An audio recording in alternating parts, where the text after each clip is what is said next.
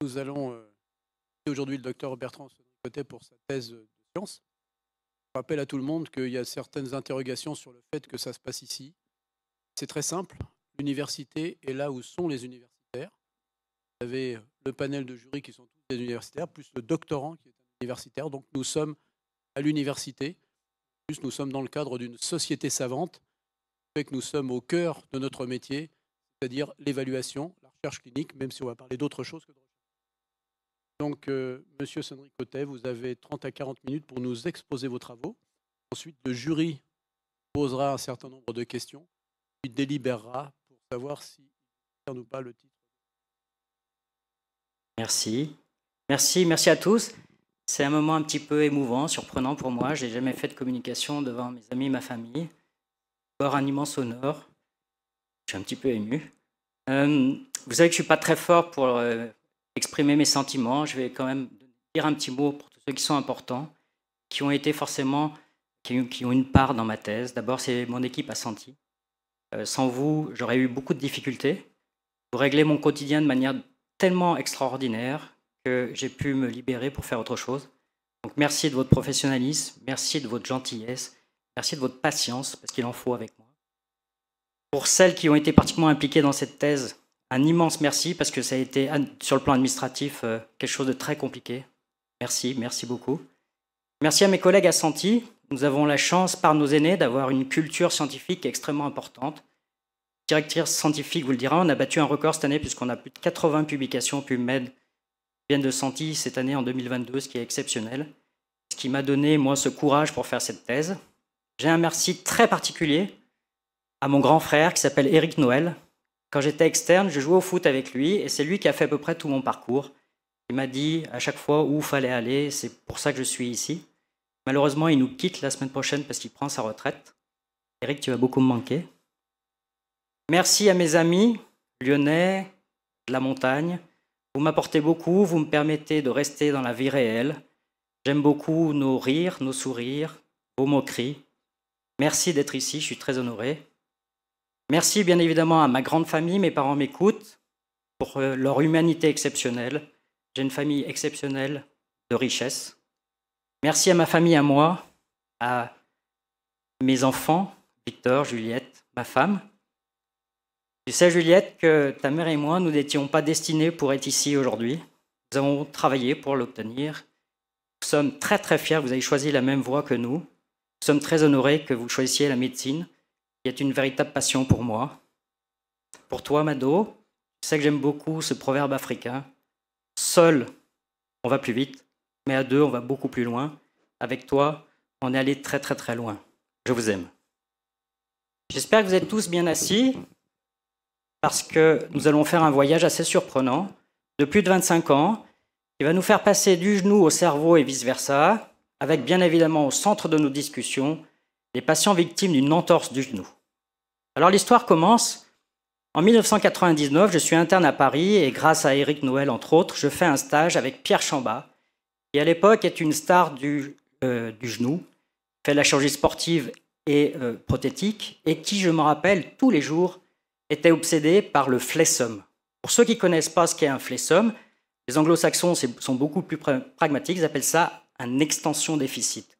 C'est-à-dire quand quelqu'un a une entorse du genou, pour des raisons qu'on n'arrive pas à expliquer, il n'arrive pas à étendre. On voit tous ces patients qui ont des béquilles parce qu'ils n'arrivent pas à étendre le genou, et donc on a un mécanisme réflexe a priori, qui fait qu'on fléchit le genou. Et Pierre Chambin insistait beaucoup, tout le temps, tout le temps, tout le temps. Puis ensuite, je suis parti à Paris j'ai poursuivi mon internat, mon clinica avec Gérard Saillant. C'était absolument pas le sujet, le flessum. J'ai appris beaucoup avec lui, notamment à la gestion des sportifs de haut niveau, mais le flessum, c'était un sujet qui n'existait plus. Je passais à autre chose. Puis en 2003, j'ai eu une chance exceptionnelle. J'ai pu m'installer euh, dans le groupe Sentier avec Pierre Chambat et Gilles Vache. Et c'est très important parce que je me rappelle encore, j'étais allé voir Pierre Chambat, je lui ai dit Qu'est-ce que vous me conseillez, monsieur? Est-ce que vous pensez que je dois faire comme vous la chirurgie du genou, c'est-à-dire sportive et ligamentaire et prothétique? Pierre Chamba m'a dit écoute, si tu veux exister, si tu veux devenir un expert, il faut que tu fasses que de la chirurgie ligamentaire et sportive. je me rappelle encore, je lui avais dit à l'époque mais monsieur Chamba, est-ce que vous pensez que je vais pouvoir vivre correctement en ne faisant que de la chirurgie sportive? Et je me rappelle de cette réponse magique que j'utilise encore maintenant beaucoup avec mes fellows. Je t'ai donné la solution. Maintenant, c'est ton problème. Donc je suis allé voir Gilles Walsh, qui était le deuxième mentor, et je lui dis Gilles, Pierre me conseille de faire que de la chirurgie sportive et ligamentaire. Qu'est-ce que tu en penses? Et Gilles m'a dit c'est sûr que tu vas devenir un expert, mais d'être un expert n'est pas suffisant. Parce que la particularité de l'expert, c'est de ne rien changer puisqu'il est un expert. Donc je lui ai dit, je comprends pas bien. Il m'a dit, écoute, si tu veux évaluer tes travaux, évaluer ce que tu fais à tes patients, il faut faire des publications avec des séries cliniques parce que c'est la seule moyen d'être objectif. Je me rappelle, je lui ai dit, Gilles, je ne sais pas publier. Il m'a dit, c'est ton problème, je t'ai donné la solution. Et donc, je me suis installé ensuite en 2003 avec Pierre Chamba. Quand on s'installe, les gens ne perçoivent pas, mais le stress absolu du chirurgien, c'est le geste technique, le geste chirurgical. On le reproduit beaucoup pour être à l'aise, mais on est complètement obsédé par ça. Est-ce que j'opère bien? Est-ce que j'opère correctement? Est-ce que ma technique est bonne? Et donc, on est complètement focalisé par ce geste technique et rien d'autre. Il n'y a que ça en permanence, et c'est pour ça que plus on a un volume important, plus on est à l'aise sur ce geste technique. Finalement, je dirais quasiment 2003 à 2019, j'ai pensé à rien d'autre que d'opérer, que d'avoir un geste technique précis, de faire en sorte que les patients aillent bien. Et puis en 2019, comme j'étais un peu plus à l'aise sur le plan technique, mon esprit s'est un peu évadé et je me suis dit, il faut que je me rappelle de cette phrase de, Gilles Vache et il faut peut-être que je m'intéresse à la science. Donc j'ai commencé à, je dirais, libérer mon esprit de ce geste technique pour penser à autre chose, pour penser à analyser peut-être ce qui se passait en consultation et non pas être obsédé par le bloc opératoire. Et donc je me suis rappelé ce flessum de Pierre Chamba de, 2019, de 1999, et je me suis dit, mais c'est vrai que Pierre Chamba insistait beaucoup sur ce flessum, mais c'est vrai que moi qui ne fais que la chirurgie sportive, j'ai un taux de flessum qui est très important. C'est-à-dire que les patients sont victimes d'une entorse du genou, ils viennent dans mon cabinet, ils ont ce flessum, mais pourquoi? Qu'est-ce qui se passe? J'avais remarqué aussi quelque chose de très simple. Ces mêmes patients qui n'arrivaient pas à éteindre le genou, lorsqu'on les mettait sous anesthésie générale au moment du bloc opératoire, ils retrouvaient l'extension. Donc on, nous donne des clés quand on est jeune en disant il y a peut-être des blocages, un morceau de ménisque, quelque chose. Mais je me suis bien aperçu que c'était faux, puisque sous anesthésie générale, quelle que soit la cause du flessum préopératoire, les gens retrouvaient l'extension. Je me suis donc dit, il manque une pièce dans l'explication, il y a quelque chose que je ne comprends pas, et il faut que je creuse pour essayer de trouver. Alors comme toujours, la vie est faite que de rencontres. J'ai eu une chance extraordinaire. C'est que Pierre Chamba, depuis toujours, travaillait avec euh, le Centre de rééducation d'Hauteville, qui est un centre public qui existe toujours dans l'Ain, avec deux personnages extraordinaires, Bénédicte Kellard, médecin rééducateur, et Olivier Rachet, kiné, assez génial. Tous les deux m'ont dit on a eu le temps de penser parce qu'on était dans le public. Comme on a été dans le public, on n'était pas harcelé par l'activité. Et donc, on a beaucoup réfléchi, beaucoup pensé. Et ils m'ont donné le début de la clé de ce problème en me disant Bertrand, tous les gens que tu vois en consultation qui n'ont pas cette extension, commencent par les mettre sur le ventre. On ne m'avait jamais appris ça. je me suis dit, mais pourquoi me parle-t-il de mettre sur le ventre? Et là, vous voyez, on a ce patient qui est extraordinaire parce que c'est un patient euh, qui est très musclé. Et en fait, en mettant les gens sur le ventre, vous voyez, son talon, il est décollé. Et en fait, il a une contracture des ischio-jambiers réflexe. Donc, j'avais un début d'explication. Le défaut d'extension est lié à une contracture réflexe des ischio-jambiers dans la grande majorité des cas. C'est-à-dire que les, muscles derrière vont tirer très fort, c'est pour ça qu'on n'arrive pas à étendre. Sauf que ça ne me donnait pas encore l'explication complète. Alors c'est 2010, 2012, 2013, je commence à avoir des fellows du monde entier, des anglo-saxons, et là vous me connaissez, je deviens obsédé, je leur tape sur la tête en disant il faut que vous me trouviez le mot-clé pour comprendre, parce que forcément ça a été publié avant, et on n'est pas les premiers à imaginer ça, il faut trouver le mot-clé. Mot-clé, c'est-à-dire qu'on va sur PubMed, PubMed c'est la bibliothèque internationale, on tape des mots-clés et qui nous donne les articles qui euh, sont rapportés sur ce sujet. On a essayé pendant trois ans à peu près tout, ni euh, extension déficit, euh, flessum, dans tous les sens, impossible de trouver. Et je me rappelle, je tapais, je tapais, je tapais en disant c'est pas possible. Il faut qu'on trouve. Forcément, quelqu'un a réfléchi dessus. Et puis ensuite, c'est vers 2016, 2017, 2016, je crois. Mathieu Tona et un de mes fellows portugais on a fait un article sur les contractures des disques jambiers après croisés, qui est un petit peu un sujet inverse.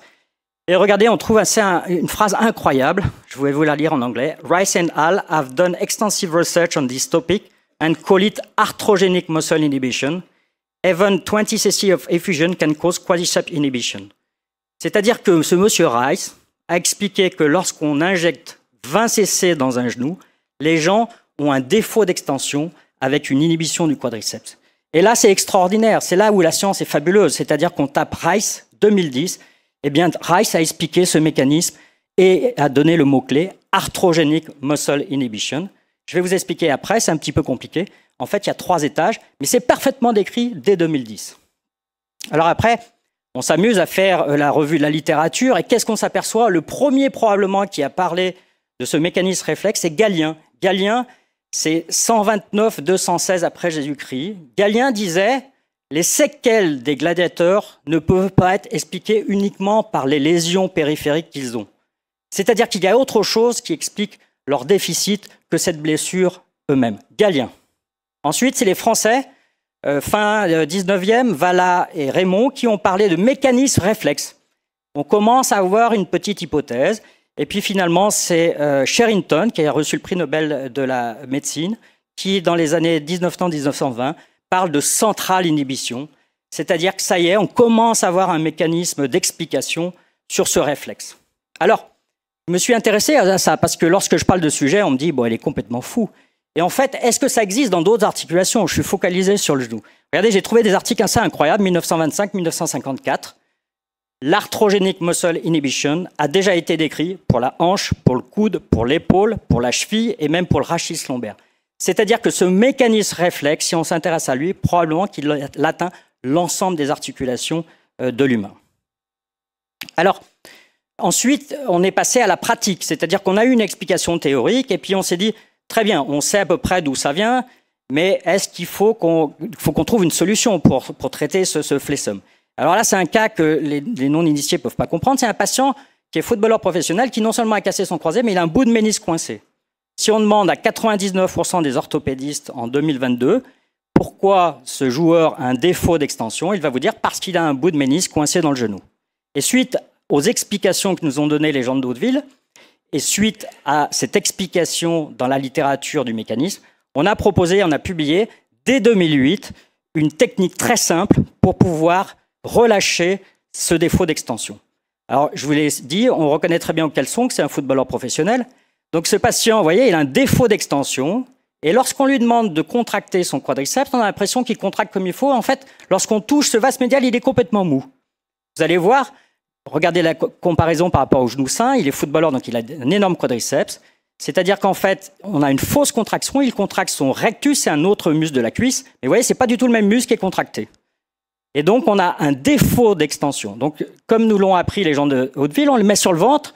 Voyez, ces ischios à gauche sont complètement relâchés. À droite, ils sont durs comme du bois. Et ça explique pourquoi ce patient n'arrive pas à étendre.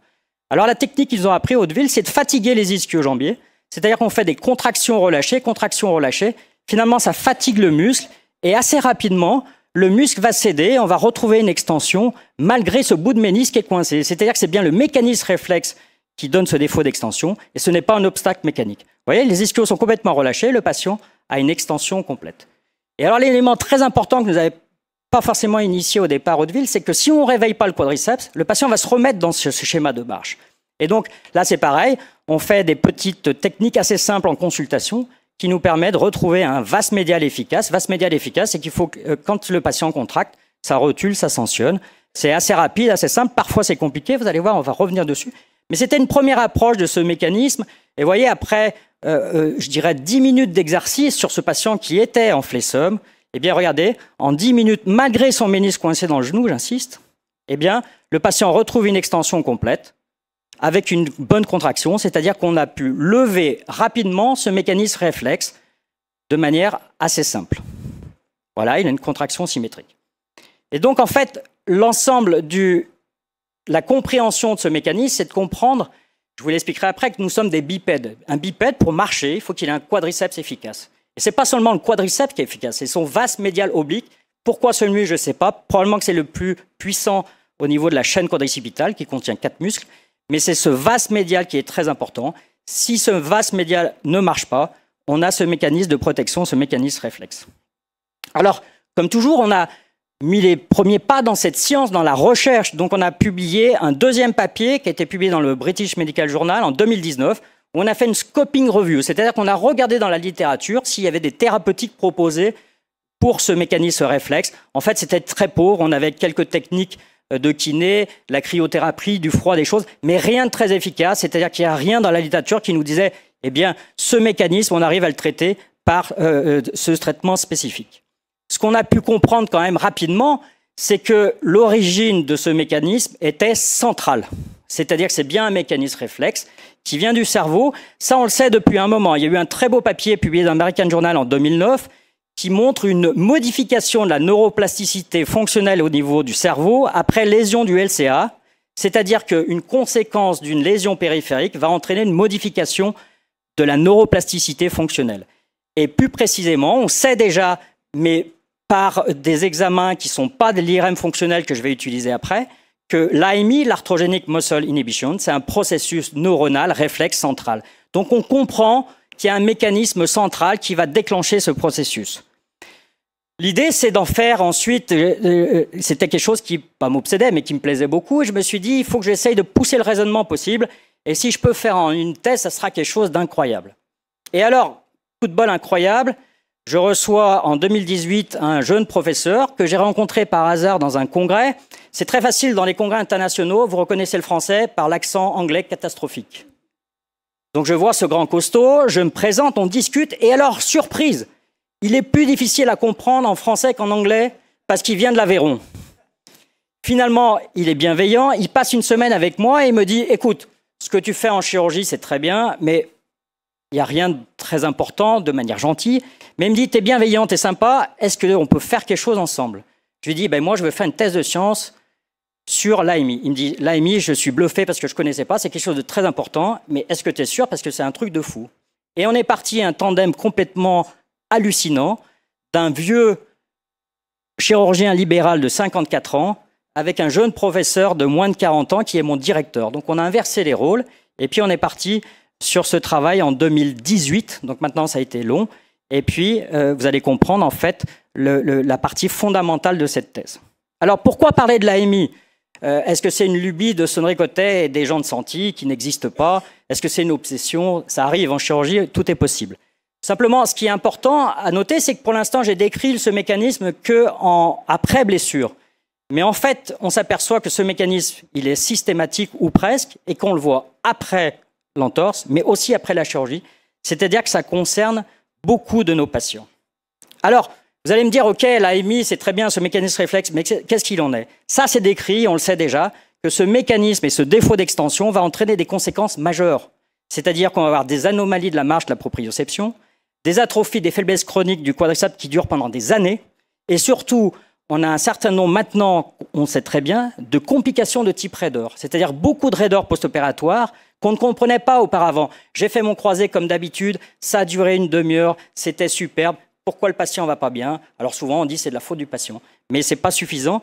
Et on sait aussi, surtout à long terme, que ce défaut d'extension va entraîner des arthroses précoces. Alors avec Étienne, on s'est dit, il faut qu'on fasse un plan de bataille, parce que si on ne répond pas aux questions importantes, cette thèse de science n'a aucune valeur. Alors on s'est dit, déjà c'est un sujet compliqué, mais la base en médecine, c'est qu'on utilise tous la même classification. C'est-à-dire que l'AMI, je vais vous le montrer, il y a différents tableaux cliniques, c'est pour ça que c'est un peu difficile. Mais si on n'a pas une classification commune qui pourrait être utilisée par les kinés, les médecins, les chirurgiens, on ne sait pas de quoi on va parler. Donc on s'est dit, premier objectif, faire une classification de cette AMI. Deuxième objectif, c'est ce que je vous l'ai dit, est-ce que c'est une lubie de sonricotet Est-ce qu'il est délirant? Eh bien, on va faire une étude simple, on va faire une étude prospective pour savoir l'incidence de cette AMI spécifiquement après rupture du LCA. Là, on conduit une deuxième étude pour l'analyser après la chirurgie. Troisième chose, existe-t-il, autre que la littérature, des, thérapeutiques proposées pour ces inhibitions motrices? Ça, c'est un travail qu'on a fait avec François Gabriel. Et enfin, dernière partie, la partie fondamentale, c'est la recherche, c'est-à-dire euh, euh, c'est le projet euh, conduit avec le service de neuroimagerie de Toulouse, c'est-à-dire est-ce que c'est vraiment une altération d'origine centrale? Alors pour faire une thèse de science, c'est incroyable. Ça demande euh, une implication, vous voyez, le nombre de labos qui a été euh, mis en place. Euh, Haute-Santi, il y a eu l'INSERM, il y a eu ce centre de neuroimagerie, l'Université de Toulouse, bien sûr, le laboratoire dont dépend Étienne, le groupe Ramsey qui m'a aidé pour la finance.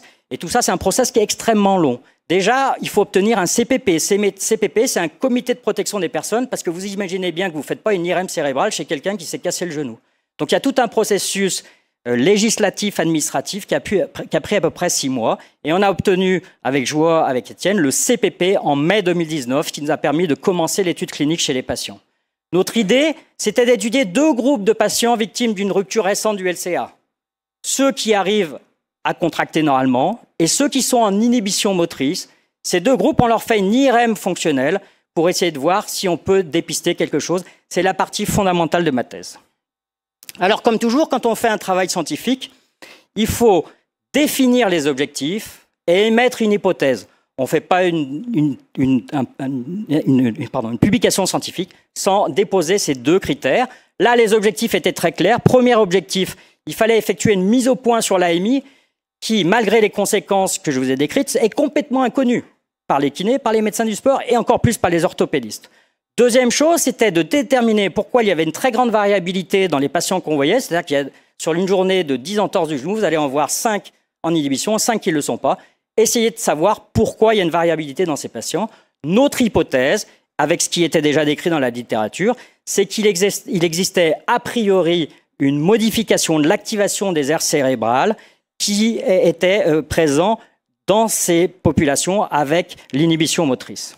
Alors, euh, on a fait cette classification qu'on a publiée euh, dans VJSM. C'est un,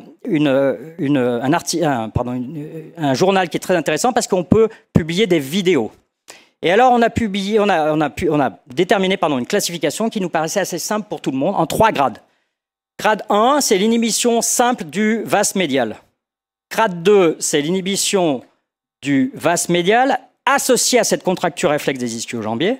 Et ce qu'il faut savoir, c'est quand ce mécanisme se pérennise, c'est-à-dire qu'au bout de plusieurs mois, il se passe un processus assez incroyable, c'est-à-dire qu'il y a une rétraction de la capsule postérieure et les gens sont définitivement en défaut d'extension. Et, la seule solution, c'est de faire des chirurgies qui sont extrêmement extensives, c'est-à-dire qu'il faut aller couper tout ce qui se passe en arrière, proche des vaisseaux, ainsi de suite, parce que le mécanisme est figé et il est plus réductible. Dans cette classification, on a déterminé deux grades. Un grade A qui est la réduction possible pendant la consultation, c'est le petit exercice que je vous ai montré. Grade B, irréductible, qui demande une prise en charge spécifique par des kinés qui est souvent longue. Alors, un exemple tout simple, vous avez ici, regardez à gauche, une magnifique contraction du quadriceps avec une patiente qui élève son talon de la euh, table, c'est-à-dire que son quadriceps marche tout à fait normalement. Regardez le, mécanisme incroyable. À droite, elle vient d'avoir une entorse. Elle relève le pied, elle relève un peu, mais elle a une sidération complète. C'est-à-dire que cette patiente est en inhibition motrice. Je peux vous assurer que si vous l'opérez, derrière, c'est une catastrophe. Ça, ça s'appelle un AMI grade 1. Si vous arrivez à le réduire facilement en consultation, c'est 1A. Si vous n'y arrivez pas et qu'elle va passer des semaines chez le kiné, ça sera un grade 1B. Deuxième patiente, elle, c'est grade 2. Regardez, non seulement elle a un quadriceps qui ne marche pas, mais regardez, elle a un flessum, c'est ce que je vous ai dit au départ, c'est-à-dire qu'elle n'étend pas sa jambe. Sa jambe ne marche pas. Et donc cette patiente, c'est un grade 2. Grade 2, c'est ce que nous avons expliqué les gens de Hauteville. Ben regardez, si on la met sur le ventre, effectivement, elle a une contracture réflexe de ses ischio-jambiers qui est majeure et qui va entraîner ce défaut d'extension. Regardez, c'est encore plus vrai chez ce footballeur. Regardez, c'est exceptionnel. C'est-à-dire qu'il y a un mécanisme réflexe central qui va entraîner cette contracture et qui va empêcher l'extension. En fait, ce qu'il faut comprendre sur ces AMI grade 3, c'est ce que je vous ai dit, c'est qu'on est des bipèdes. Donc ça veut dire quoi? Ça veut dire que pour marcher, il faut avoir un quadriceps qui est efficace. Et si le quadriceps est inefficace puisqu'on est en inhibition motrice, eh bien il y a un système de compensation au niveau du cerveau qui va faire en sorte que vous pouvez marcher si vous avez par contre les chaînes postérieures qui sont contractées. Ça veut dire quoi? Ça veut dire qu'au lieu d'avoir le quadriceps qui marche, les patients restent debout parce qu'il contracte les ischio-jambiers et les mollets. Je vais vous montrer un magnifique exemple. Et avec ces chaînes postérieures, ils arrivent à rester debout. Voilà un exemple majeur. C'est un footballeur professionnel. Il a eu un croisé avec deux arthrolyses, mais il n'a pas été euh, rééduqué comme il faut. Regardez, il est figé dans son flessum. Il n'arrive pas à étendre. C'est chronique. On ne peut rien faire. Et donc la seule solution de ces grades 3, donc vous allez voir, on voit très bien dans les escaliers qu'ils n'ont pas de quadriceps, c'est ça qu'ils n'arrivent pas du tout, regardez, ils passent pas parce que le quadriceps marche pas. Par contre, il marche parce qu'il a ces chaînes postérieures qui sont contractées. Et alors, je vais vous faire peur, voilà la chirurgie, ça ressemble à ça. C'est-à-dire qu'on est obligé d'aller couper tout ce qui se passe derrière, à proximité des vaisseaux. C'est des chirurgies tout à fait catastrophiques. On a, très peur de le faire, mais c'est la seule solution. Alors ensuite, le deuxième plan de notre travail avec euh, Étienne, c'était de se dire, quelle est l'incidence de ce mécanisme C'est ce que je vous dis. Est-ce que c'est une lobby de senti Est-ce qu'ils sont devenus fous?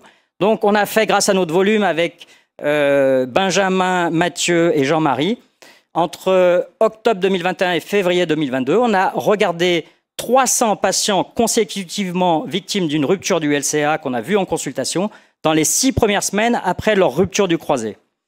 Là, c'est très simple. On me demande, mais comment vous pouvez évaluer? On a utilisé notre classification. C'est une classification clinique. On n'a pas besoin d'examen, on n'a pas besoin d'IRM. C'est juste clinique, c'est-à-dire on regarde ces patients euh, dans quel stade ils sont. Et alors, regardez, c'est extraordinaire. 56% des patients qui sont victimes d'une rupture du LCA dans les six premières semaines ont une inhibition motrice. 56%, plus de 1 sur 2. Et de manière assez remarquable, on avait à peu près 50% de grade A, 50% de grade B. C'est-à-dire qu'on a autant dans chaque grade. Bien évidemment, euh, euh, ces patients sur les scores fonctionnels sont significativement moins bons, c'est-à-dire que ces gens partent déjà moins bien au niveau d'une éventuelle chirurgie, et donc vous comprenez bien que c'est une altération majeure. Alors, euh, on a poursuivi, c'est-à-dire qu'on s'est dit, OK, plus 50% sont en inhibition motrice, mais finalement, avec ces petits exercices qu'on arrive à faire, combien arrive-t-on à en réduire? Eh bien, là encore, surprise, 80% des patients, avec les petites techniques que je vous ai montrées, on arrive à réduire leur inhibition motrice. C'est-à-dire qu'en fait, il reste 20% de ces 60% qui sont encore en inhibition, ce qui fait quand même au total, sur une population de 100 croisés rompus, 10 à 12% des patients qui risquent de nous faire des complications, et c'est quasiment ce qui existe dans la littérature. Troisième chose, on s'est dit quels sont les facteurs de risque de déclenchement. Alors là, c'est difficile parce qu'on ne sait pas si c'est la cause ou la conséquence. Mais ce qu'on a pu voir, et ça je trouve ça extraordinaire, c'est que les patients qui ont déjà été opérés du croisé ont 40 fois moins de risque d'avoir une inhibition motrice. C'est-à-dire que pour moi, le schéma de, compensation de cette mécanisme d'inhibition est déjà mis en place, et donc ils ont vachement moins de risque d'être en inhibition. C'est une découverte assez incroyable. Ensuite, on a évalué ce qui se faisait. Il y a un, traitement qui est proposé actuellement par Allianz. C'est euh, une, boîte euh, avec des objectifs financiers, donc il faut toujours être pondéré. Mais c'est très diffusé chez les kinés et chez les ostéopathes, avec comme processus en disant ça aide à lever cette inhibition motrice. C'est le travail qu'on a fait avec François. Euh, Allianz, c'est trois, quatre étapes. Ça se fait en une seule session. c'est c'est une part d'imagerie mentale, c'est-à-dire qu'on va demander au patient d'imaginer qu'il contracte en fait son genou euh, euh, altéré euh, en comparant par rapport au genou sain.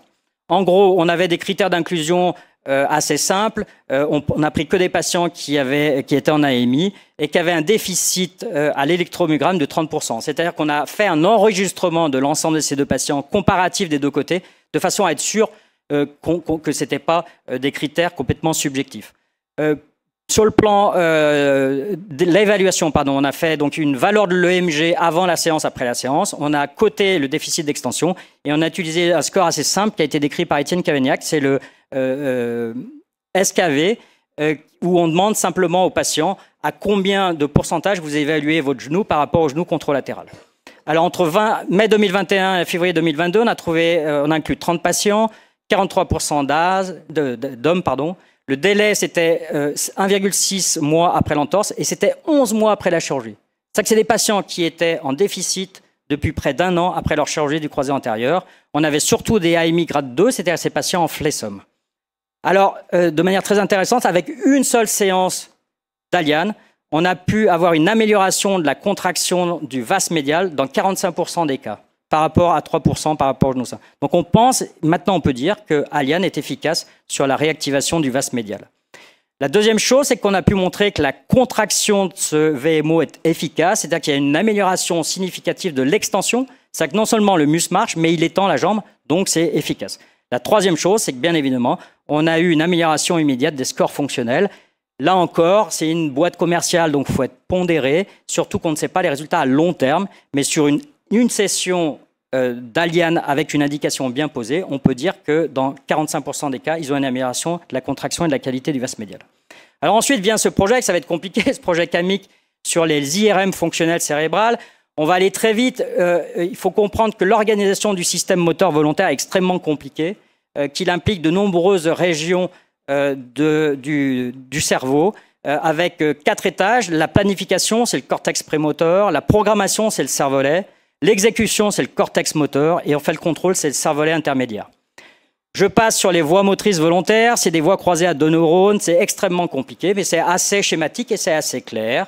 Ce qu'il faut comprendre et qui a été décrit sur la physiopathologie de cette arthrogenic muscle inhibition, c'est qu'il y a trois étages. Un étage local facteur, c'est-à-dire que c'est l'articulation. Deuxième chose, il va y avoir un mécanisme qui va euh, atteindre et altérer le réflexe spinal, donc c'est la moelle épinière, et une atteinte supraspinale, c'est le cortex cérébral. Alors on a publié cet article en 2020 dans l'American Journal. Le schéma a été fait par euh, Yvon Gauthier qui est ici et qui schématise un petit peu. Donc on part de droite, le patient se fait une entorse du LCA, on n'arrive pas à savoir qu'est-ce qui déclenche ce mécanisme. Est-ce que c'est la douleur? Est-ce que c'est l'hémarthrose Est-ce que c'est les lésions des tissus? On ne sait pas. Mais ce qui se passe, il y a deux mécanismes. Il y a une voie afférente, ça va dans le cerveau. Première atteinte, parce que c'est notre grade 1, il y a une atteinte du cortex frontal, du cortex, oui, frontal, pardon, avec le, le, tétaneurone frontal, qui va entraîner une inhibition du quadriceps atteinte corticale frontale, inhibition du quadriceps. Dans 50% des cas, c'est ce qu'on a vu dans notre cohorte, il s'associe à un mécanisme spinal qui, lui, va entraîner la contraction réflexe des ischio-jambiers. C'est-à-dire qu'on a deux voies qui vont s'activer. Alors, pour essayer d'étudier ça, on s'est dit, on va faire les IRM fonctionnels. Moi, j'étais très fier.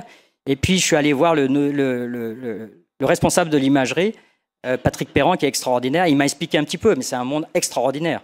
L'IRM, c'est quoi l'intérêt? L'IRM fonctionnel, c'est que ça permet de localiser les activations et d'étudier les connexions. C'est-à-dire que vous avez vu l'organisation du système moteur, il y a plein de différentes localisations au niveau anatomique qui vont interférer les, unes aux autres. Donc on, appelle, on parle ça la connectivité fonctionnelle. Et lorsqu'on étudie les cohérences des activations, dans le temps entre deux aires, elles doivent travailler ensemble, s'activer, se désactiver. Ça, on peut le comparer.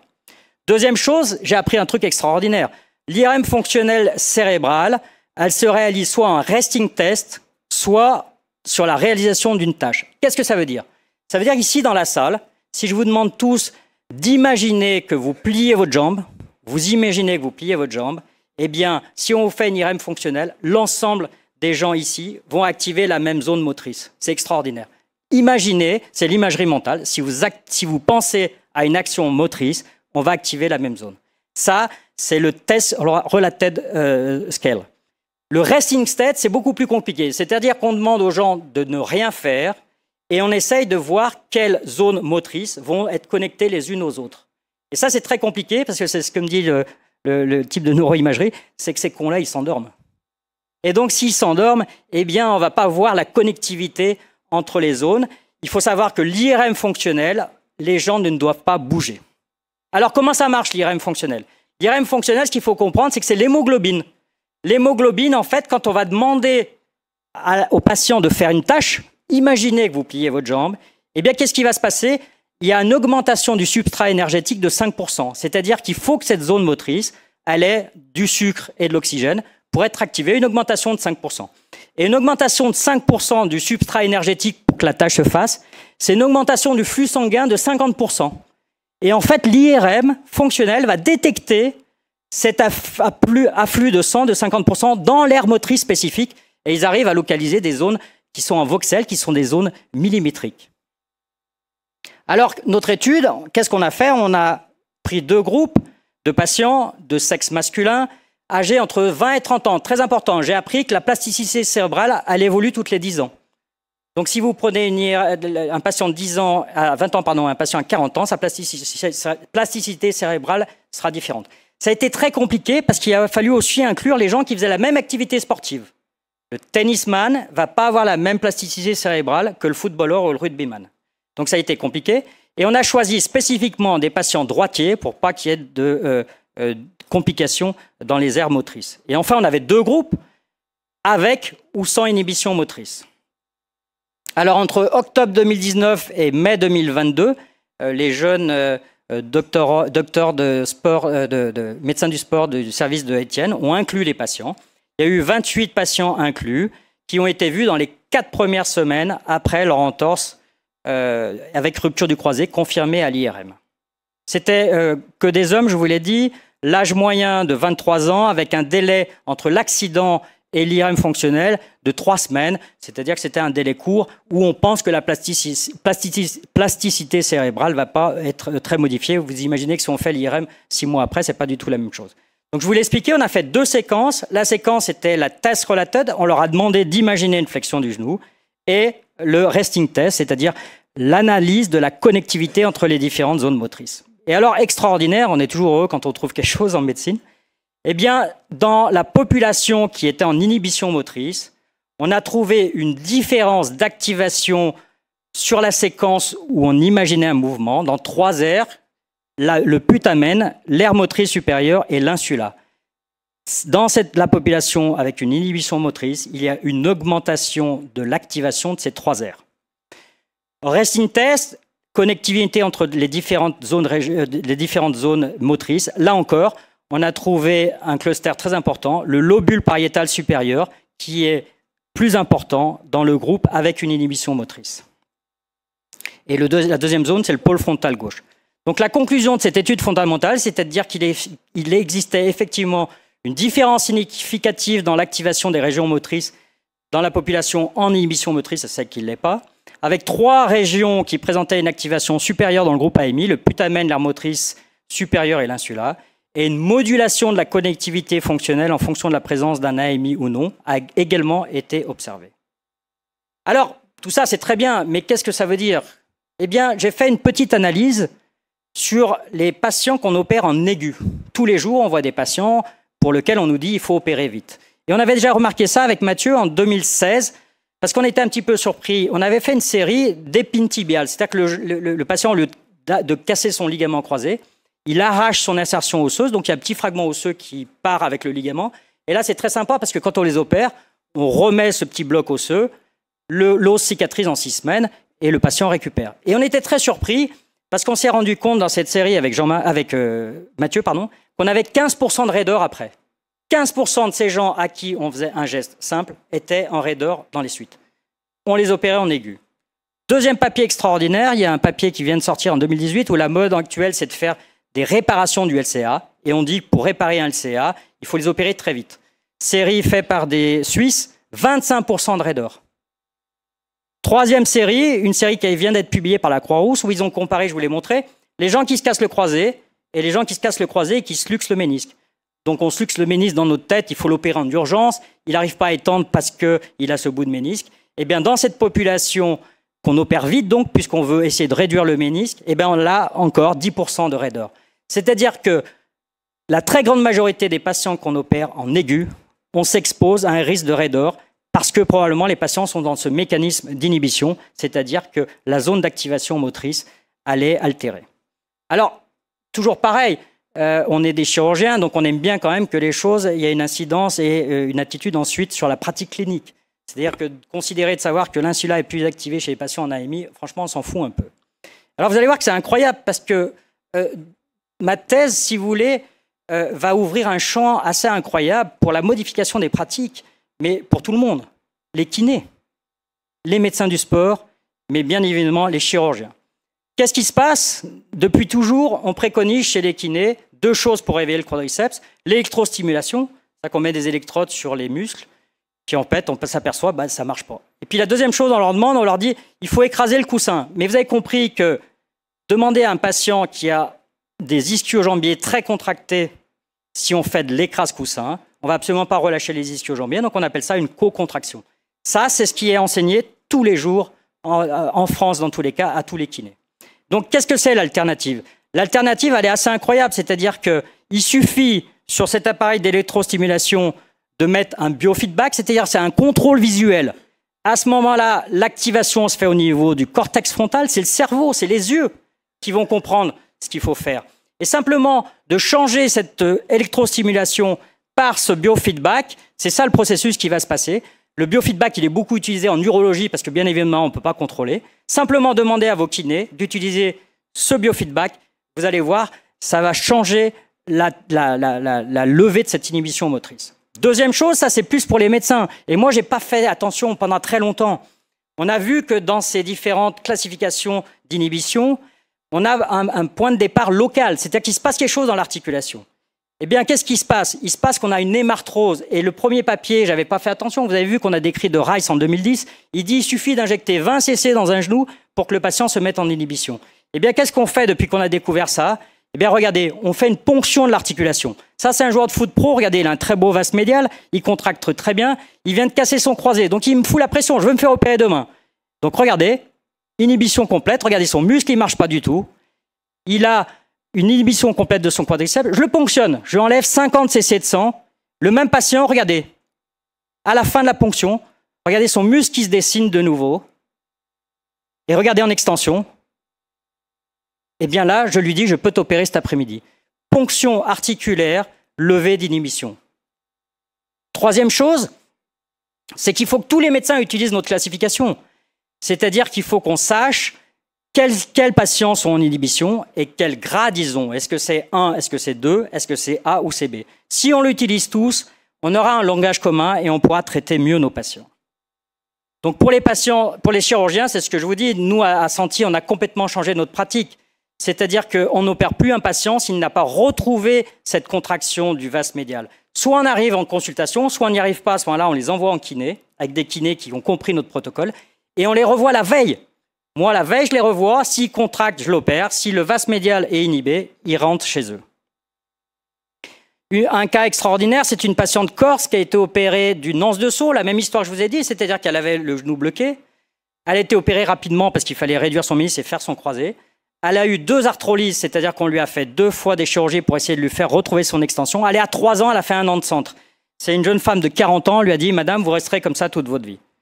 Donc regardez un peu la catastrophe, c'est-à-dire qu'elle est complètement bloquée, c'est ce que je veux dire, elle est en schéma postérieur. Là, puisque c'est figé, la particularité, c'est qu'elle a un défaut d'extension, mais elle a une inhibition. Elle n'a pas de contraction des ischio-jambiers. Elle est au stade après. Regardez, quand on touche, ces ischio-jambiers, ils sont complètement souples. C'est-à-dire qu'elle a une rétraction capsulaire postérieure qui est figée. Elle va rester comme ça tout le temps.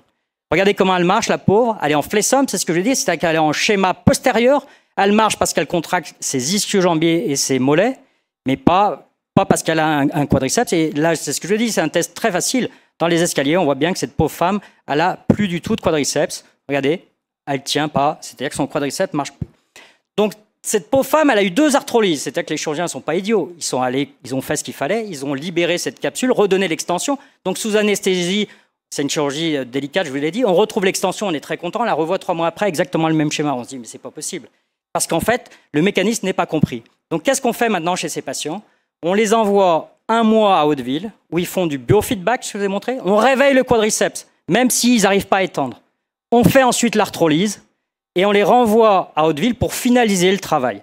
Et regardez, cette femme, trois mois après, elle revient dans mon cabinet. Je peux vous dire qu'après trois ans, euh, elle euh, pense que je suis son héros. Voilà, elle a retrouvé une marche normale. Enfin, dernière chose, parce que ça c'est extraordinaire, c'est une patiente, c'est incroyable. Cinq ans avant, elle a 17 ans, elle s'est fait une entorse du genou, je ne sais pas bien ce qu'elle a eu. Elle a fait 50 kinés. Et les parents viennent parce qu'ils me disent, on a vu 20 chirurgiens, tous les avis divergent, opéré, pas opéré, la rotule, le fémur, tout y passe. Et on ne comprend pas. Et la première chose qui est extraordinaire, elle a fait 50 kinés. C'est quand on la met sur la table, elle a un défaut d'extension et on voit que son vase, il marche pas bien. 50 kinés. On la met sur le ventre, on libère très rapidement, très rapidement, elle retrouve l'extension et mes fellows se font bluffer, c'est-à-dire qu'ils disent Ouais, c'est très simple, je comprends pas, ça fait 5 ans, mais qu'est-ce qui se passe? Au bout de 3 minutes, la gamine, elle contracte, elle a l'extension, elle marche très bien. Et je leur dis Regardez les gamins, vous allez vous faire piéger.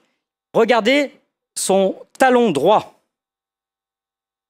Donc elle marche, on vient, on vient de libérer ses ischios, réveiller son quadriceps, regardez, tout va bien. Et regardez ce qui se passe. Regardez, regardez, progressivement, regardez son talon. Regardez comme c'est extraordinaire. Regardez son talon elle va décoller progressivement. C'est-à-dire que c'est ce que je vous ai dit, son cerveau est en, schéma et en chaîne postérieure. C'est-à-dire que cette gamine, elle marche parce que son quadriceps n'est plus efficace, elle marche avec une contracture des ischio-jambiers et une contracture du mollet. Regardez son mollet, son, talon. Et donc cette gamine, on se dit, mais on est très fort, au bout de deux minutes, on la réduit. On la remet, au bout de dix pas, regardez, elle se remet dans son schéma de marche. Son, son, son cortex frontal ne marche plus parce qu'elle a une inhibition permanente de son quadriceps. Et alors, c'est bluffant et c'est désespérant.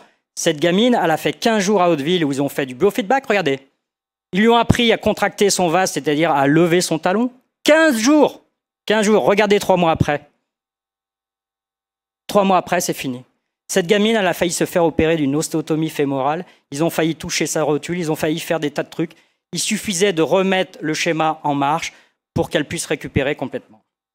En conclusion, l'AMI, on a confirmé avec notre euh, étude IRM fonctionnelle que c'est un mécanisme réflexe central qui est très fréquent, plus de 50% des patients, à l'origine du flessum antalgique, c'est-à-dire ce flessum dont insistait Pierre Chamba en 99. Ça y est, nous avons compris, ça vient de là-haut. La compréhension doit nous aider à tous dans la prise en charge quotidienne. Vous avez vu qu'il y a une incidence sur les kinés, les médecins du sport et les chirurgiens. Et pour ça, c'est très simple. C'est une évaluation clinique. On n'a pas besoin d'IRM, on n'a pas besoin d'examen. Il suffit d'observer comme il faut les gens. La rééducation est extrêmement importante après l'entorse pour essayer de réduire ce mécanisme, ce qui facilitera la prise en charge chirurgicale et évitera les complications. La conclusion, c'est que le préconditionnement vis-à-vis de ce mécanisme réflexe, ça semble être la clé pour le succès de la prise en charge thérapeutique de nos patients qui ont besoin d'une chirurgie. Merci pour tous.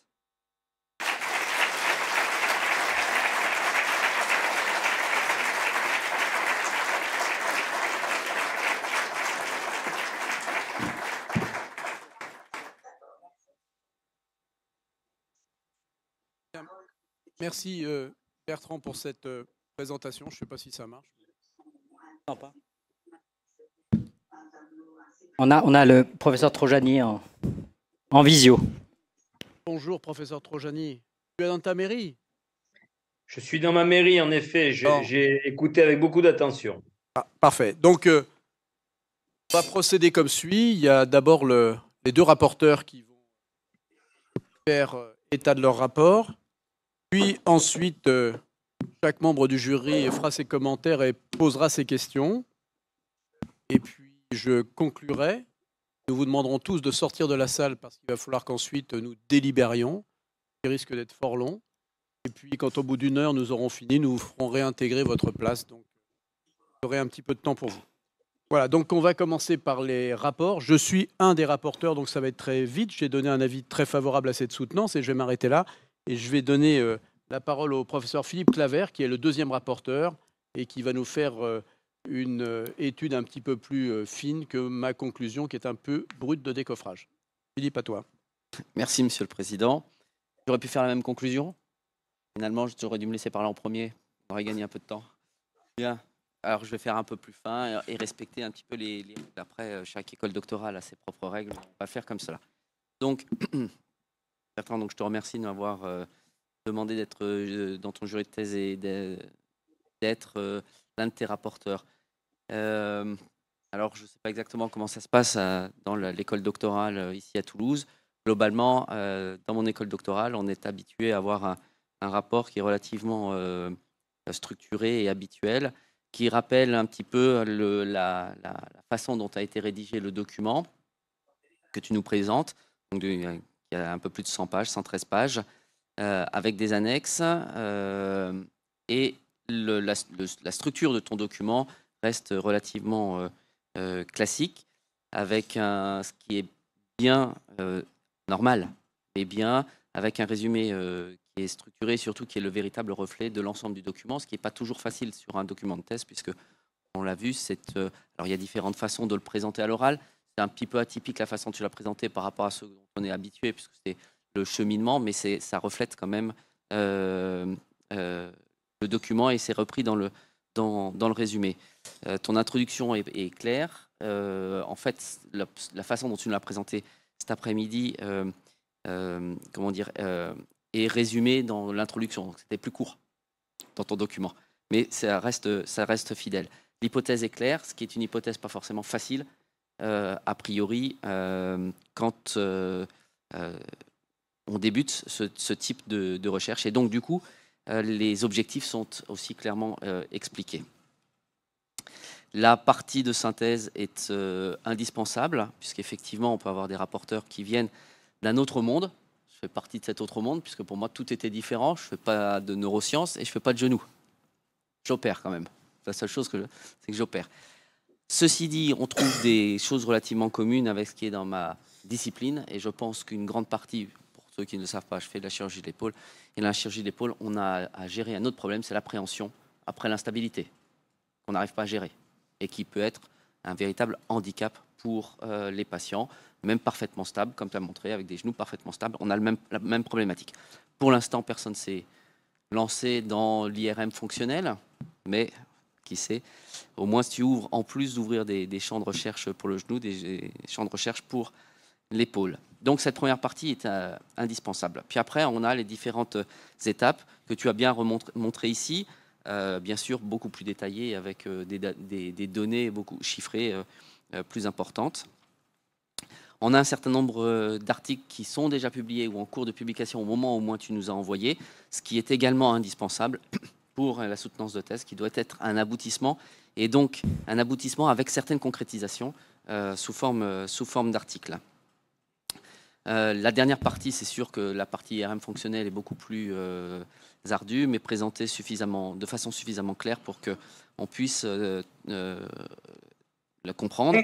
Et puis, cette thèse, qui est une thèse de science et une, thèse relativement de, comment dire, de sciences fondamentales, fait le grand écart, puisque tu as également soumis un CPP avec un numéro qui permet de poursuivre tes recherches de clinique. Et donc, c'est ce que l'on recherche, c'est-à-dire de la passer de la, la, science euh, fondamentale à la science appliquée euh, sur le genou. Bon, je ne parle pas de la bibliographie qui est particulièrement riche avec 160 références euh, sous avec les formes nécessaires.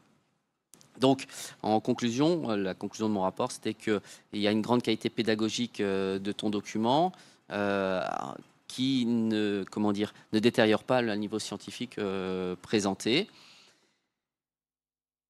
Tu présentes des résultats fondamentaux appliqués, c'est ce dont on a besoin et c'est ce qu'on cherche. Et donc, c'est pour toutes ces raisons, j'ai émis, émis, un avis euh, favorable.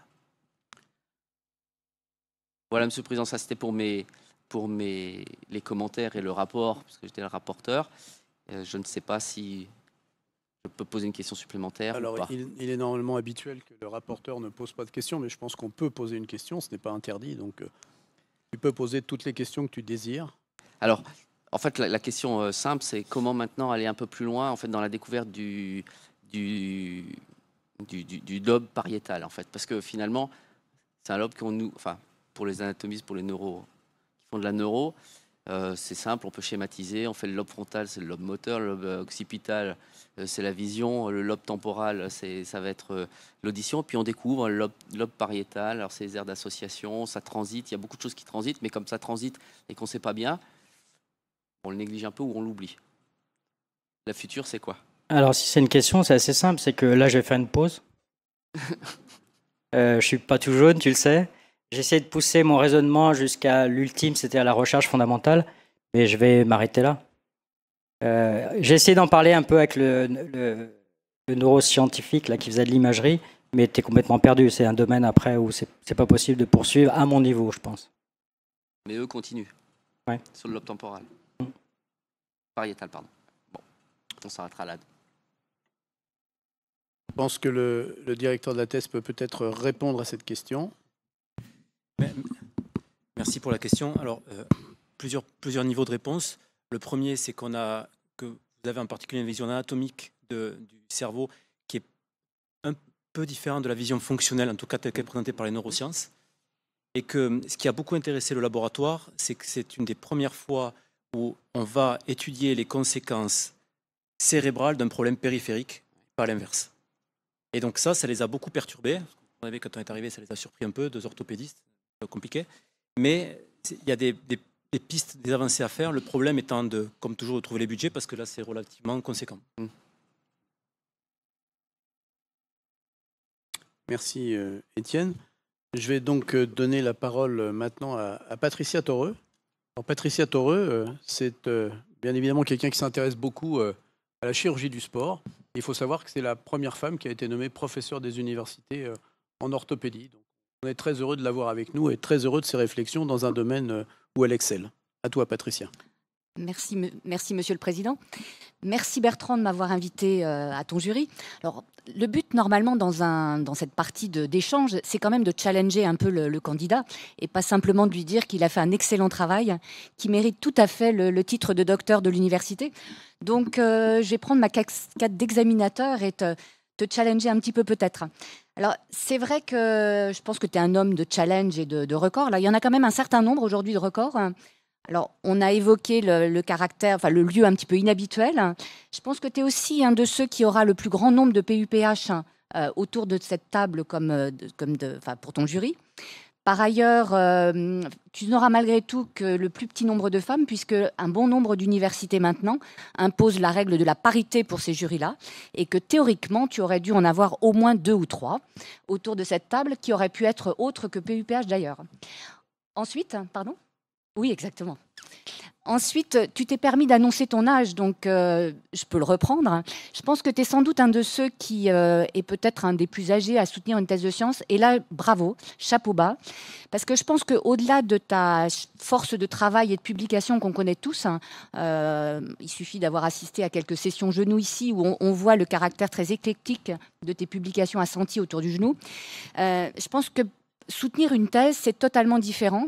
C'est-à-dire qu'il y a certes un certain nombre de publications que ton rapporteur a soulevées, mais je pense qu'il y a un continuum, euh, un travail au fil des années qui est totalement différent. C'est n'est pas pareil de nous fournir ce document-là et d'avoir publié quatre ou cinq ou six papiers euh, de façon indépendante. Et ça, euh, toutes mes félicitations. Alors maintenant, je vais quand même te poser un certain nombre de, questions. Je vais remettre mes lunettes. Dans ta dernière étude, euh, tu nous dis que vous avez inclus uniquement des patients entre 20 et 30 ans, tous droitiers, pour des questions d'homogénéité de votre population. Parfait. Par contre, vous ne soulignez pas s'il s'agit d'un genou droit et d'un genou gauche, ni non plus d'un côté éventuellement dominant.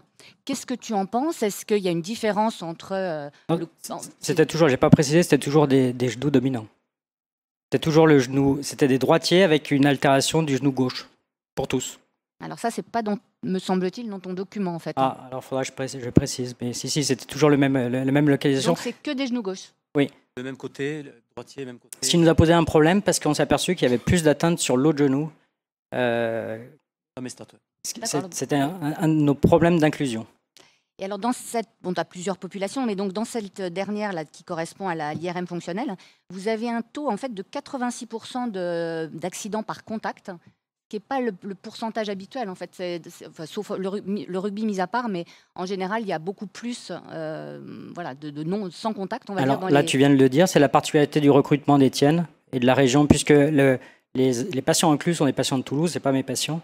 Et donc, c'est des patients principalement, euh, rugbyman. D'accord. Euh, alors, tu nous as montré un très beau cas clinique là, avec ta ponction qui te réveille immédiatement le quadriceps. Or, en fait, justement, dans une de tes études, la ponction ne, rentre, n'est pas ne ressort pas comme significative, justement, dans les facteurs qui pourraient être euh, protecteurs ou euh, diminuant le risque d'AMI. Alors, c'est pas la ponction qui ne ressortait pas, c'est l'hémarthrose. Et c'est toujours pareil, ce qui est compliqué, c'est de savoir, c'est dans l'étude de l'incidence en fait, de l'AMI, le problème, c'est de savoir quelle était, on, a eu beaucoup de difficultés, c'est de savoir quelle était euh, l'œuf et la poule.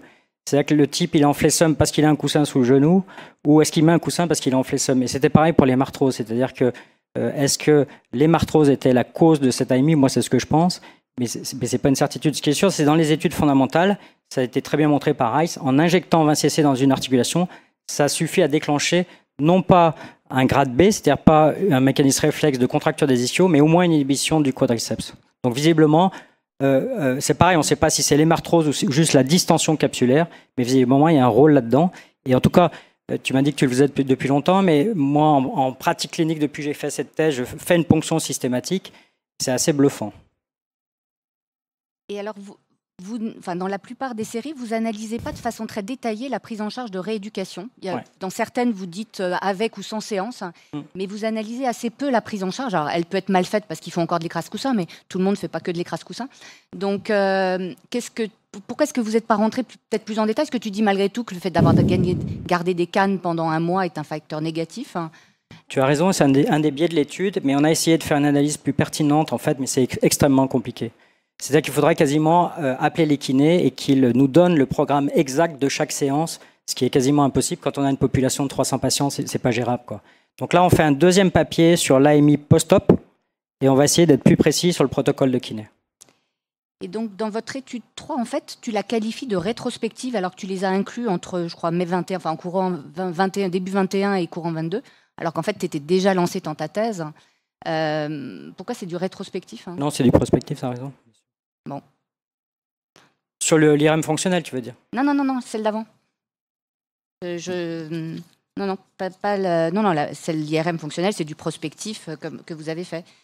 ton étude là, de, thérapeutique. Hein. Sur la, reprogrammation neuromotrice, oui, oui. Bon, parce que comme tu l'as fait, à mon avis, au fil de l'eau. Euh, et alors là, finalement, maintenant que tu, veux, tu vas recevoir tes, jeunes patients, là, sportifs euh, de haut niveau, euh, donc tu vas leur expliquer que c'est dans la tête que ça se passe, puisque c'est fonctionnel. Et comment tu vas leur expliquer qu'ils ne sont pas fous? Ça, c'est une très bonne, une très bonne question. Le problème, c'est qu'il y, a un mixte entre la tête et la, psychologie. Il n'y a absolument rien de psychologique dans, cette, dans ce mécanisme réflexe. Donc, je leur explique simplement, je leur dis en fait, au moment du traumatisme, le fusible qui commande ton muscle a disjoncté. Et donc, tant qu'on ne pourra pas remettre ce fusible, on ne pourra pas t'opérer. Et ça, c'est accepté. Et alors maintenant, je pense que justement, là, tu as levé, entre guillemets, un lièvre qui va. Je pense que dans dix ans, tout le monde. Ne, enfin, soit on en parlera encore, soit tout le monde aura pris les choses, tu vois, euh, par le début. Et comment tu imagines maintenant, justement, faire de la formation ou de l'information auprès des kinés, des médecins du sport? Tu vois, comment tu vois les étapes pour essayer de limiter finalement ces entre guillemets, la non prise en charge, parce que finalement, on se rend bien compte que si on les prend correctement en charge, tu en auras beaucoup, beaucoup moins, en fait, au, moins en préopératoire. Bien, j'ai un immense espoir que des gens de ton talent et de ton niveau universitaire fassent le, le travail pour moi. Très bien. Je ne peux que m'arrêter là, alors. Merci. Merci Patricia. Nous allons donner euh, la parole à, Christophe Trojani, qui va pouvoir euh, nous faire euh, ses commentaires et poser toutes les questions. Christophe, c'est à toi.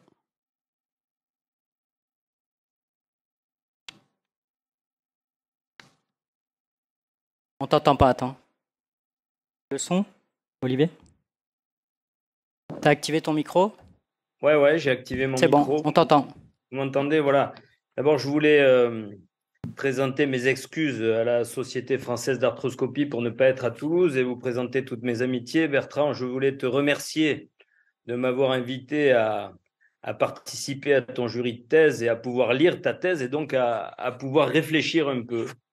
Ça fait toujours du bien de réfléchir un peu. Je veux te, dire aussi qu'il faut qu'on t'aime beaucoup pour être présent aujourd'hui avec toi pendant un quart de finale de la Coupe du Monde entre le Brésil et la Croatie. Tu me diras, ta femme n'est pas brésilienne, euh, et donc c'est encore pardonnable. Tu sais bien que le football n'est pas une question de vie ou de mort, mais que c'est bien plus important que ça, comme disait un entraîneur célèbre de Liverpool des années 70. On, on vérifiera ça demain quand Kyle Walker essaiera d'arrêter Kylian Mbappé. Euh, alors, je, je, voulais aussi te féliciter pour ta présentation orale qui est remarquable. Je voulais juste te dire que dans ta dialectique, il y a deux mots qui reviennent très souvent. C'est extraordinaire et incroyable. C'est extraordinaire et c'est incroyable. Je crois que tu as répété chacun des deux mots une vingtaine de fois. Et puis, je voulais passer un amical bonjour à Pierre Chamba qui nous écoute, euh, je le sais, puisque c'est Pierre Chamba qui t'a dit, euh, je l'ai retenu en 1999, le problème, c'est le flessum. Et, donc, tu sais que la douleur, ça fait mal. Et maintenant, je sais aussi que le problème, c'est le flessum.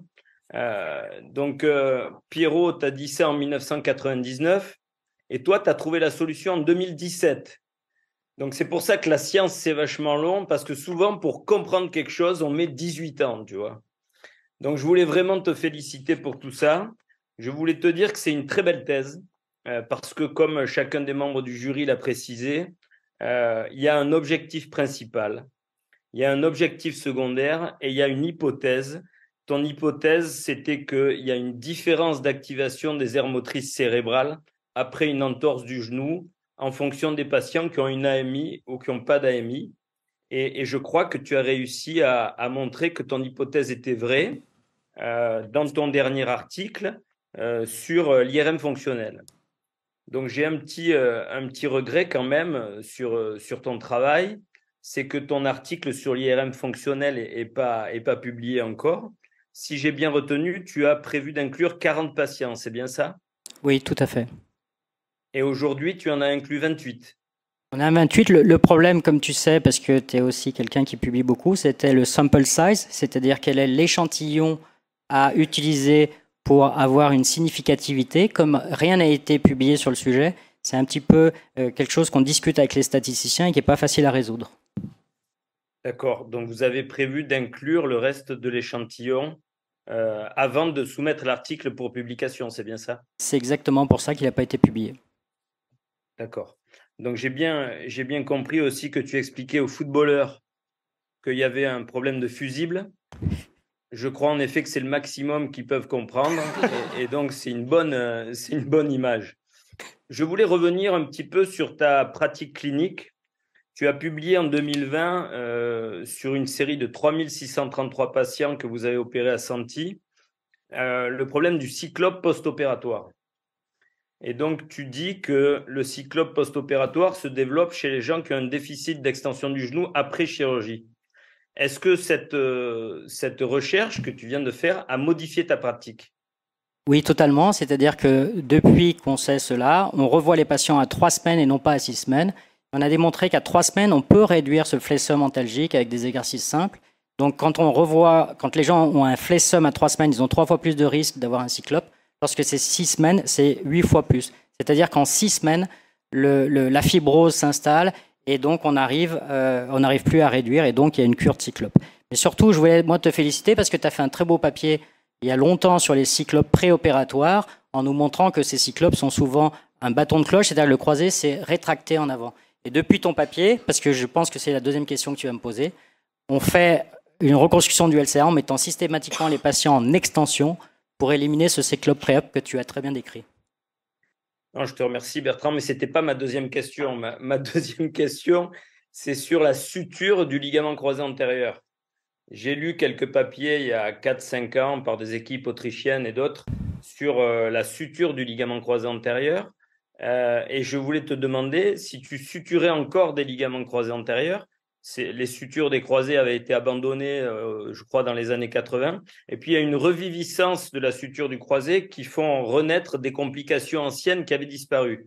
Donc, suite à, à cet AMI là que tu as très bien décrit, que tu as classifié, que tu as bien démontré, est-ce que tu sutures encore des ligaments croisés antérieurs? Alors, ça a été un sujet qui a été très bien débattu aujourd'hui. Bruce Rader a fait une très belle lecture.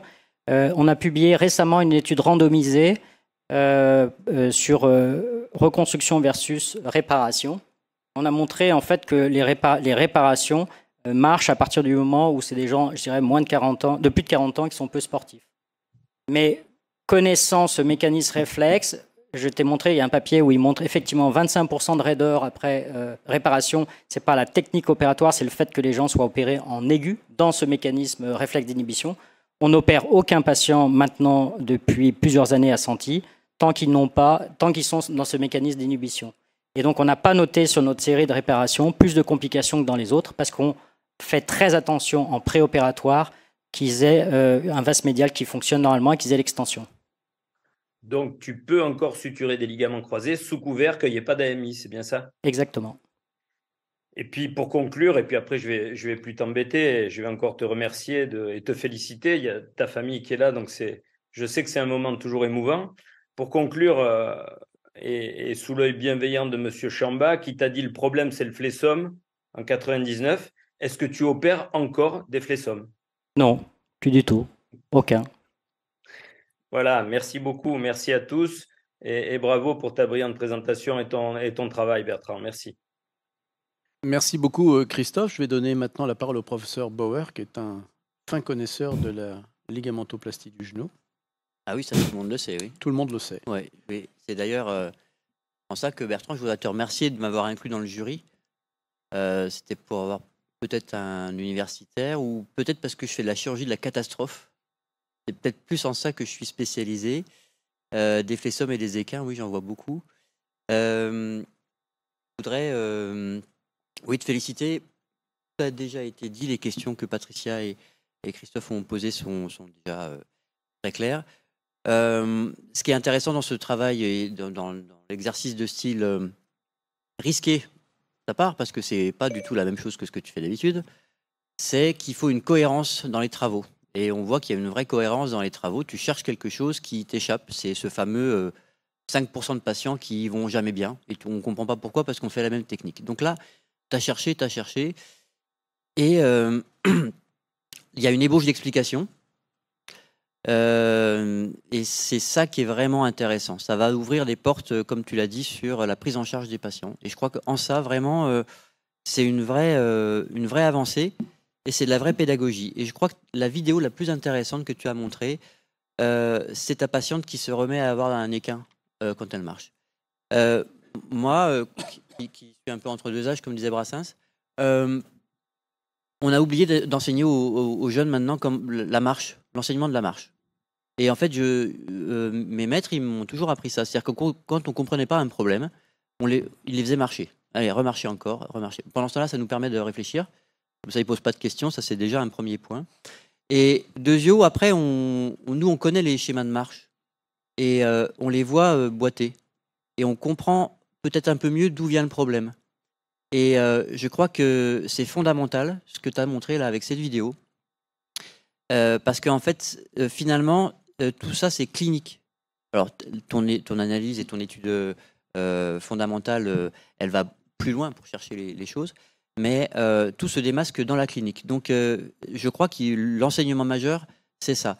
La question, c'est est-ce que tu penses qu'il va y avoir d'autres moyens de diagnostic précoce de ces choses-là, à part faire une IRM fonctionnelle, ce qui n'est pas forcément donné à tout le monde? Est-ce que est-ce que la piste, euh, c'est bon de, poursuivre l'analyse euh, fondamentale, j'ai bien compris, mais euh, il y, a, un- test que, tu verrais autre que, ce FLESOM Qu'est-ce qui va nous permettre? Parce qu'en fait, la vraie question, hein, c'est qui, va avoir cette AMI, qui va pas l'avoir? On- peut le savoir, ça? Tu penses Tu as, quelque chose. parce que tu as cherché ça? Sur, l'étude qu'on a fait, je te dis, le problème de la détermination des facteurs de risque, c'est qu'on ne sait pas quelle est l'œuvre de la poule. C'est-à-dire que, c'est ce que je te dis, le type, il a un flessum parce qu'il a mis un coussin Mm. quand il s'est fait mal, ou il a mis un coussin parce qu'il était en flessum. Donc c'est ça qui est un petit peu compliqué. On va essayer de peaufiner. Euh, ce qui est quand même déterminant, c'est- je te dis, moi ça m'a bluffé, c'est de savoir que les gens qui ont déjà été opérés, ils ont 40 fois moins de risques d'avoir une Ouais. inhibition motrice. Donc c'est là qu'il y a probablement un schéma qui s'est mis en place. Euh, qui va faire un AMI ou pas, je ne sais pas bien, mais déjà je pense que le premier stade, euh, parce qu'après c'est de la recherche fondamentale comme tu dis, ça coûte cher, c'est si déjà on a tous euh, en tête cette préoccupation clinique, c'est-à-dire de, détecter cette inhibition motrice et de savoir faire quelques exercices, ou en tout cas d'insister là-dessus, on aura fait un énorme pas parce que ça concerne, c'est ce que je t'ai dit, les kinés, les médecins et les chirurgiens. Ouais, je, reviens sur ça. C'est- Là, tu t'es focalisé sur le genou. Tu as montré qu'il y avait plein de papiers qui avaient été publiés sur toutes les articulations quasiment. Euh, moi, je fais un peu plus de chevilles et pieds, enfin, les genoux, ils ont été déjà multiprothésés, donc c'est autre chose, mais ils ont les mêmes problèmes.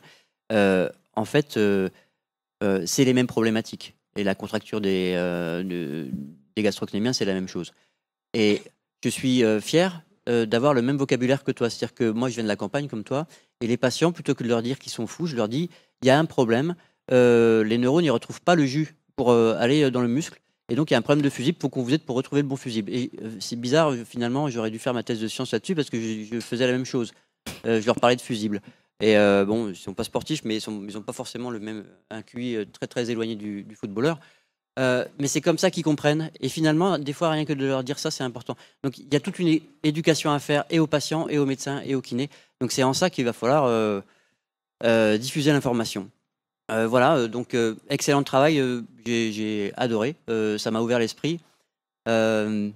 Pas d'autres questions, si ce n'est que de te féliciter sur ben, ce courage que tu as eu de faire ça, d'expliquer et d'aller chercher l'explication pour quelque chose qui, sur le coup, peut-être intéresse personne, mais alors que c'est fondamental. Voilà, je suis très fier de t'avoir à mes côtés au sein de la SFA, et puis je, crois que ben, je pense que ta famille peut être très très fière de toi parce que c'est très cohérent, c'est voilà, tu as, une vraie humilité en fait. Et ça, il n'y a que les gens qui te côtoient qui le savent. Euh, le reste, euh, pour moi, euh, ça n'existe pas. Donc euh, je suis très fier de toi et euh, je te souhaite tout bonheur. Merci. Merci Thomas. Alors c'est assez inhabituel, on n'a pas le, on est, on donne peu la parole au directeur de thèse, mais ce que j'aimerais, euh, Étienne, c'est que tu nous dises un peu, toi, dans le futur, tu vas faire quoi avec cette thèse? Parce qu'on a bien compris que Bertrand allait un petit peu lever le pied et aller regarder ça d'un peu plus loin. Voilà, il a la SFA à gérer, euh, qui n'est pas une mince affaire. Étienne, toi, dans ton équipe, comment tu vas essayer d'orienter les choses? Parce que c'est ça qui va être intéressant. Euh, Merci, Monsieur le Président. Je vais vous répondre, mais juste pour préciser, ça va, tu comprends quand je parle, Bertrand, l'accent, c'est bon? Je je- je m'inquiète pour ma famille. Ça va être sous-titré, quelque part. On va, on va organiser ça. Euh, je, voulais commencer en reprenant un peu les règles de l'école doctorale à, Toulouse. Alors, Toulouse, c'est la patrie de Jean Jaurès, on est des humanistes. Donc, on parle du travail et on parle des hommes à chaque fois, chaque membre du jury. Quelques mots sur ce qu'il pense de la personnalité de, de l'étudiant j'y viendrai après. Mais on n'est quand même pas humaniste au point d'avoir d'exiger la parité. On s'arrête à une dame obligatoire dans l'école doctorale dans laquelle j'appartiens. Donc, euh, c'est la géométrie variable. Moi, je voudrais te remercier parce que j'ai très peu douté, mais quand on en a parlé au bloc à Santi, que j'ai pris l'avion le soir, je me suis dit peut-être que je me suis embarqué dans un truc un peu compliqué. Et on a réussi à le faire. Alors tu reparles de notre première rencontre et, et Steven, qui était là, peut un peu en témoigner. Et tu as fait comme tu sais faire d'habitude, tu m'as regardé dans ton téléphone, du haut vers le bas, hein, comme ça. Et je, je dois t'avouer que des gens qui m'ont regardé comme ça dans ma vie et qu'avec qui ça s'est pas mal fini, il n'y en a pas beaucoup. Mais vraiment, vraiment pas beaucoup. Ici, on aime la castagne, on le, on le fait plutôt bien. Donc, je continue en disant que je, reprends ce qu'a dit Monsieur le Président au, début. Je suis très heureux qu'on fasse ça dans ce lieu parce que tu as réuni ta famille, tu as réuni la famille de l'arthroscopie à laquelle tu vas t'impliquer fortement. Et on est tous là pour, en- pour entendre cette histoire. Et cette histoire, elle est belle. Il y a un continuum, c'est une logique. On a avancé pour, faire, pour, pour mieux comprendre les choses. Et on est parti du principe qu'un chirurgien, ce n'est pas un technicien. On est là pour analyser la fonction, on est là pour prendre quelqu'un qui est blessé et le ramener sur le terrain. On n'est pas là juste pour lui mettre un ligament dans un genou. Et tant que les gens n'ont pas compris ça, tant que les spécialistes n'ont pas compris ça, ils n'ont pas compris comment fonctionnaient les, patients et on ne peut pas les traiter. Et la part non négligeable, c'est la fonction. Et la fonction, on l'étudie avec ce travail-là. Donc je ne reviens pas sur la méthodologie qui est, On a participé à tout ça tous les deux, c'était très bien. Alors comment on va continuer ça? Donc nous, on, a été... euh, Il y a- deux anecdotes euh, pour raconter. La première, c'est l'école doctorale, ce que je vous disais tout à l'heure. Le laboratoire, quand on y est allé, était assez surpris, la réunion était assez étonnante. Et le- l'enthousiasme des gens de la neuroscience par des sujets de pathologie euh, extracérébrale qui ont une impli- implication cérébrale. Donc ils poussent énormément pour qu'on continue ces sujets-là. Il faut trouver des, gens motivés pour le faire, il faut trouver du temps. Et là, on a réussi à bien impliquer le service de médecine du sport aussi. Donc c'était plutôt, euh, plutôt facile. Et pour, et pour euh, sou- souligner le fait que tout est assez précaire et tout joue comme un fil, et que dans tes remerciements, tu as oublié, oublié, je- ça va te revenir, euh, la maman du, patron de l'école doctorale. Parce que pour que vous, sachiez tout, ça, bataillait fort, parce que c'est un couple atypique, lui et moi. C'est la première thèse de science que j'en- que j'encadre pour quelqu'un qui n'a aucun futur universitaire, donc on a fait ça pour le plaisir. Et ça bataillait fort, et ça bataillait très très fort avec l'école doctorale, avec le, directeur de l'école doctorale. Et il y avait un échange de mails qui était assez. le ton commençait à monter très haut. Et le lendemain du mail, la maman se casse le col du fémur et a besoin d'être hospitalisée dans mon service. Donc les discussions se sont euh, assouplies très vite et les instructions ont été faites facilement. Donc ça se joue à pas grand-chose quand même les choses. Euh, c'est vrai, hein, c'est incroyable.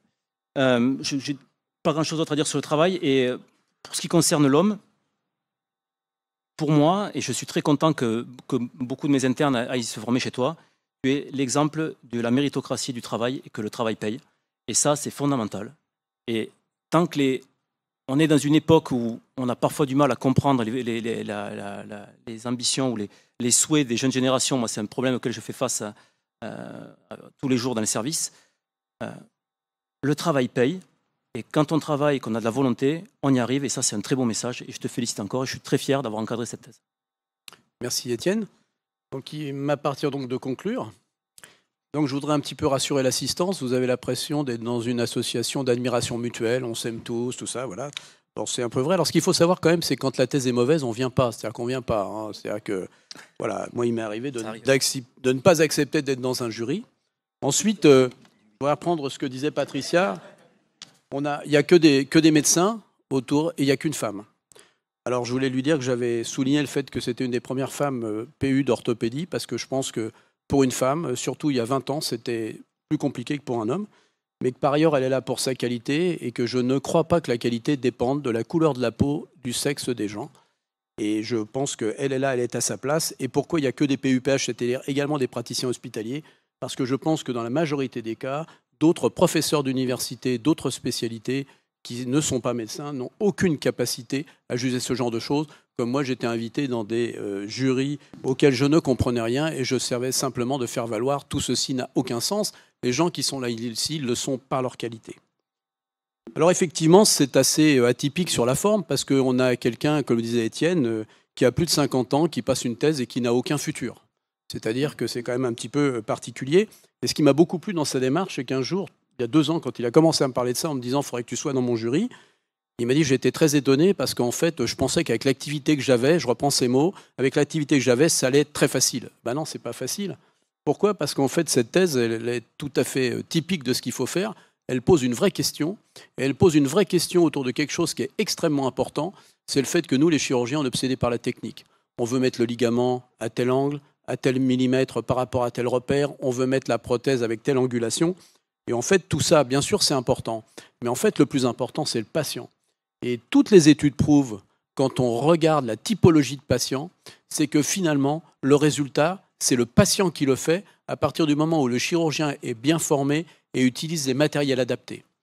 Et donc, en fait, cette question, elle est totalement fondamentale. Et comme le disait Étienne, on est là pour accompagner le patient et pour être sûr, bien évidemment, que les choses vont bien se passer. Et en fait, le plus compliqué, et c'est pour ça qu'on s'y intéresse peu, c'est avant, pendant bien sûr, mais là on est très puissant, parce qu'on fait les choses, et après. Et je crois que ta thèse, elle pose la vraie question de l'amélioration de la qualité de nos soins, qui ne passera que par la vision qu'on aura sur ce qui se passe tout autour de la chirurgie. Il faut qu'on soit capable de s'éloigner de la chirurgie. Et Étienne a tout à fait raison, il faut accompagner le patient.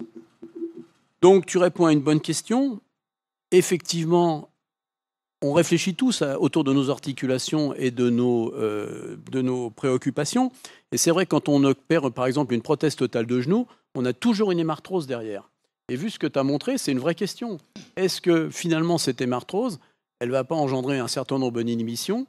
Et je crois qu'on a maintenant, euh, autour de toutes nos articulations, euh, l'intérêt de réfléchir à ce que tu as je dirais, débroussaillé autour du ligament, mais qui finalement va parfaitement généraliser. Donc tu as fait euh, une démarche qui était euh, originale pour quelqu'un qui ne se destinait pas à une activité universitaire. Tu as fait une démarche qui était euh, parfaite sur le plan méthodologique et qui partait d'une question purement clinique pour, au travers du fondamental, essayer d'en donner une explication. Et c'est ce qu'on attend d'une thèse de science. Donc c'est vrai que toi aussi, tu es un personnage atypique parce qu'on se connaît finalement bien depuis que on travaille sur les allogreffes ensemble, parce que tu es un petit peu, euh, je dirais, original, et moi, dans mon genre, j'étais aussi un peu original avec mes allogreffes, et on s'est retrouvé là-dessus, avec le, bonheur qu'on sait, et maintenant, on a plein de collègues qui, nous suivent. Je pense que voilà, cette originalité fait qu'effectivement, euh, euh, parfois, on dérange, Hein, et ça a été ton cas, tu as beaucoup dérangé. Mais je pense que c'est aussi extrêmement important de déranger parce qu'il n'y a que les gens qui dérangent qui font avancer les choses. Donc je voulais te féliciter à la fois pour euh, ce que tu as fait jusqu'à maintenant euh, dans la chirurgie du genou, car tu as fait progresser les choses, de cette thèse qui est l'aboutissement d'un raisonnement intellectuel et d'essayer de chercher à découvrir. Et puis, je suis très heureux que tu continues, bien évidemment, à t'investir au niveau de la SFA, qui est une société extrêmement importante dans notre spécialité, et ce qui prouve euh, qu'en plus de la chirurgie, qu'en plus de la recherche clinique et fondamentale que tu fais, eh bien, euh, tu t'investis aussi dans les institutions, et les institutions ne valent que par la qualité des hommes, et ça, il faut bien le savoir. Voilà, donc il n'y a pas de questions, bien évidemment, pendant cette thèse. Je vais vous demander de quitter en bon ordre et de fermer la porte pour le dernier d'entre vous, de manière à ce que nous puissions délibérer. Voilà. tout le monde est rentré. Bien, donc Bertrand, après délibération euh, du jury, nous avons décidé à l'unanimité de te décerner euh, le titre de docteur en sciences. Donc euh, voilà, à partir de, ce moment-là, tu es docteur en sciences. Tu as toutes nos félicitations pour la qualité de ton travail, également toutes nos félicitations pour ton parcours professionnel auquel tu as adossé un parcours scientifique de très haut niveau. Donc encore bravo. Et puis maintenant, profite. Voilà.